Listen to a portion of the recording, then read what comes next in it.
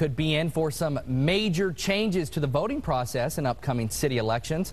Councilmember Charlie Winburn hosted a news conference today to discuss these plans.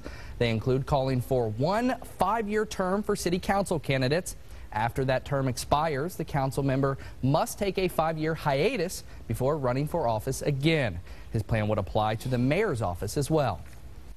Why not come in for four or five years, serve your time and leave, and let some other uh, new blood come in with new ideas and creativity? So I think it's a challenge. This what this proposal does is challenge the very heart of every city council member. They must decide: is it about the citizens of Cincinnati or is it about me? The proposal will be on this year's ballot. If approved by voters, the new council terms could take effect by 2013. Well, let's go ahead and